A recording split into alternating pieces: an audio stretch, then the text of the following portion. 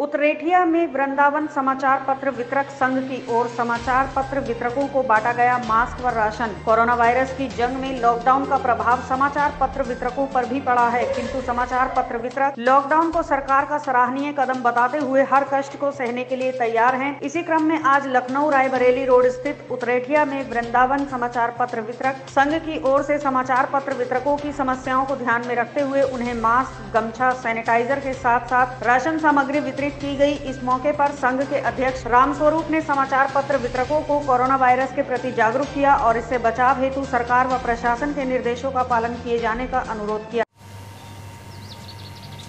जी अपना परिचय दीजिए। हमारा नाम Ram Swaroop Vrindavan newspaper hawkers association अध्यक्ष। आज पत्रकार वितरकों के लिए आप लोगों ने मास्क और गमछा सैनिटाइजर आदि की व्यवस्था की। इसके पीछे क्या कारण रहा?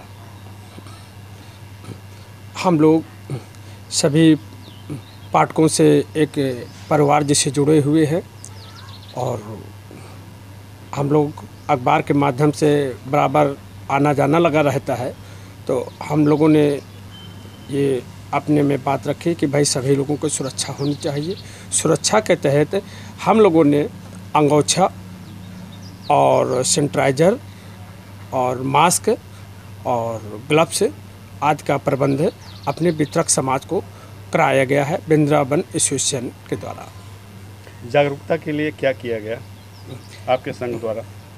जागरूकता के तहत वितरक समाज के एक मीटर की दूरी पे हम लोग और डॉक्टरों के द्वारा अपना बॉडी का चेकअप और जो हम लोगों का हैंड है इसको बराबर सैनिटाइजर और सा, साबुन से हाथ धोने का ये बराबर हम लोग जारी रखे हुए हैं।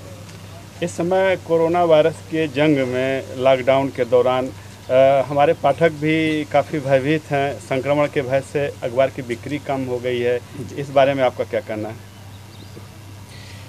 हम लोग ये जो कोरोना महामारी चल रही है इसको और हम लोग बराबर ध्यान दे रहे हैं।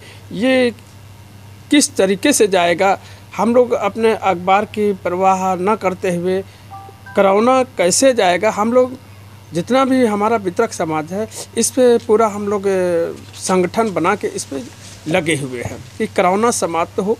और हमारे पाठकगण लोग बराबर ये बात रखे हैं कि हम आपके साथ हैं। और हर जगह आपके साथ बने हुए हैं। जैसा कि अखबार बेचना एक रोज़गार का साधन है और आज के समय में अखबार उस मात्रा में नहीं बिक रही है जितना पहले बिकती थी। ऐसे में इनके सामने रोजी रोटी की एक समस्या उत्पन्न हो गई होगी। इस बारे में उनकी मदद की दिशा में एसोसिएशन क्या कर रहा है? समस्या तो हम लोगों की बहुत बड़ी है। अब इसको जो समझ सकता है वही समझ सकता है। हम लोग